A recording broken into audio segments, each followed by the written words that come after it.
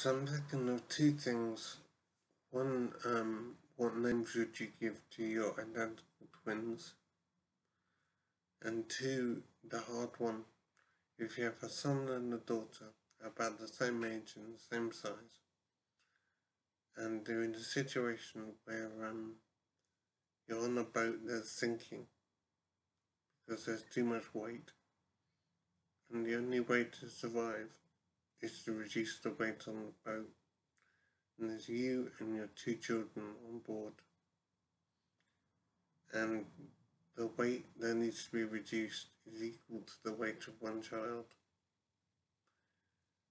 So, in other words, if one of the children went overboard, then the weight would be enough that you could both survive on the boat that's left.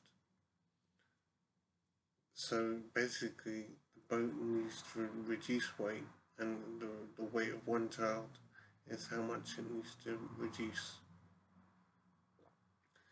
So if one of the children was removed, then the boat would stay on the surface and would survive.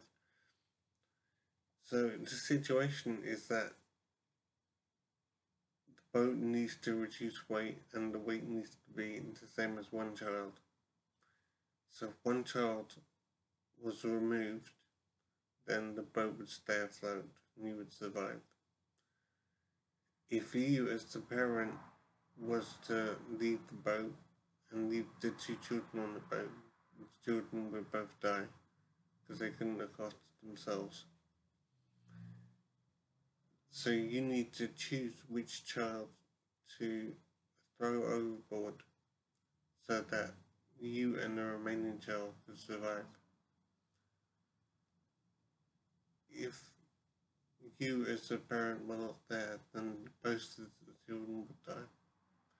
So you need to stay on the boat, but one of the children needs to be removed. How would you choose choose which child to remove so that the other child could survive? So if you as a parent left the boat, then both children would die.